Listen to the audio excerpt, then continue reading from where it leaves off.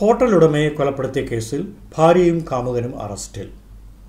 ബെന്നാർഘട്ടയിലെ hotel ഉടമ നാൽപ്പത്തിയാറുകാരനായ ശിവലിംഗയെ കൊലപ്പെടുത്തിയ കേസിലാണ് ഭാര്യ ശോഭ നാൽപ്പത്തിനാല് കാമുകൻ രാമു നാൽപ്പത്തഞ്ച് എന്നിവർ അറസ്റ്റിലായത്.